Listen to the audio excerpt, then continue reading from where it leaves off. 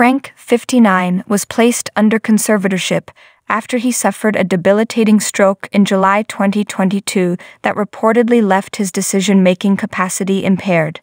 The U.S. Sun can exclusively reveal Frank's conservator, Midwestone Bank, filed an amended initial financial management plan and an inventory report on June 27. Midwestone Bank requested to seal the inventory of Frank's real property and monetary assets, as well as his whereabouts because he is a well known celebrity. The judge on the case approved his conservator's request to seal the financial records. The request comes after a notice of delinquency for conservatorships was filed on June 2 after the inventory report was not filed by the due date. The court papers read Failure to file the same within 60 60 days from the date hereof will result in 1. A report being made to the presiding judge, 2. The fiduciaries being subject to removal, 3 a report being made to the Chief Judge of the Judicial District and the Administrator of the Judicial Branch, and 4. A report being made to the Committee on Professional Ethics and Conduct, which may result in disciplinary action being taken. Midwestone Bank filed an initial plan that revealed Frank's monthly expenses in October 2022. According to the plan, Frank spends $28,292 monthly on expenses, including $22,832 on in home healthcare. The healthcare alone is expected to cost $273,984 yearly for the star. Other expenses include $1,250 in food, $850 in health insurance payments, $500 in transportation, $250 in clothing, and more. Frank's annual income is just $60,000 from investments, but according to the court papers, Midwestone Bank provided a plan for Frank to make more money. The court papers read Assets will be invested to start generating income for Mr. Fritz. The conservator has not inventoried Frank's many collectibles and antiques, but they plan to leave them largely as they are now. The conservator will work with the guardian to integrate Mr. Fritz into management decisions as he continues to recover. A checking account with a small balance will be available for Frank's personal use. The conservator will also work to apply for disability income for the protected person should he be eligible. When asked how long the conservatorship is expected to last, the bank responded, Unknown. Frank was unemployed at the time of his stroke. He had no debt listed the U.S. Sun broke the news that the conservatorship was filed in August 2022. The documents obtained by the U.S. Sun read Because of his stroke, Mr. Fritz's decision making capacity is so impaired that he is unable to care for his own safety, or to provide for necessities such as food, shelter, clothing, or medical care, without which physical injury or illness may occur. Mr. Fritz's decision making capacity is so impaired that he is unable to make, communicate, or carry out important decisions concerning his own financial affairs. An exhibit was mentioned in the court papers from a doctor, allegedly confirming Frank does not have decisional capacity. The legal papers continued. Decisions must be made for Mr. Fritz's care and placement while he continues to recover and receive treatment for his injuries. Appointment of a guardian and conservator is necessary to avoid immediate harm to him.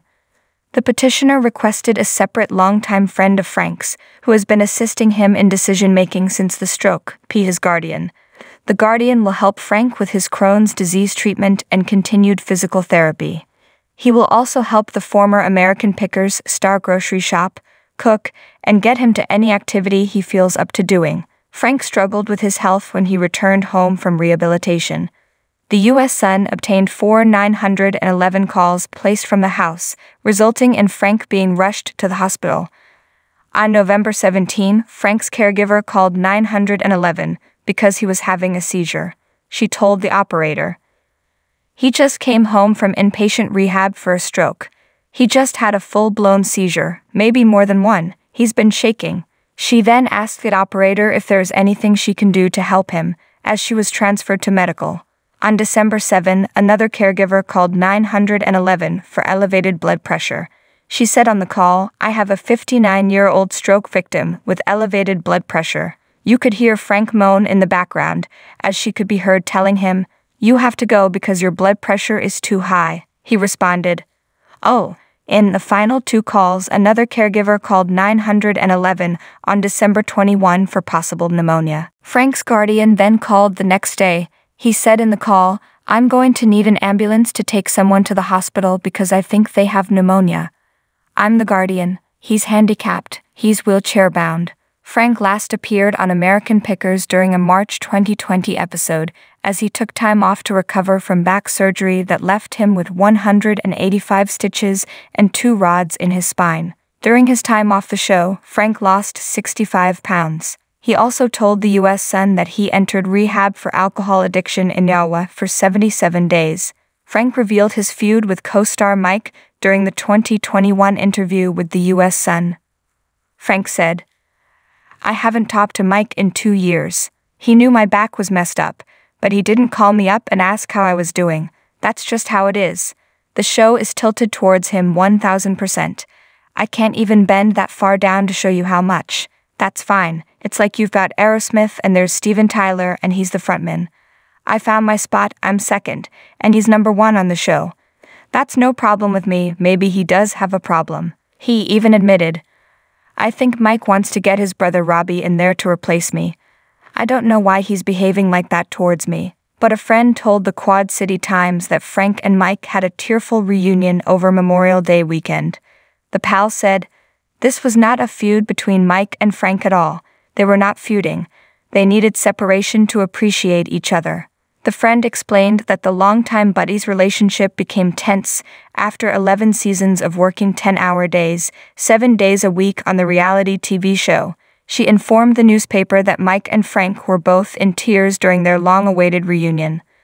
The friend disclosed both were crying, before adding that Mike brought up how nervous they both were to be going on David Letterman, which was one of their first big appearances.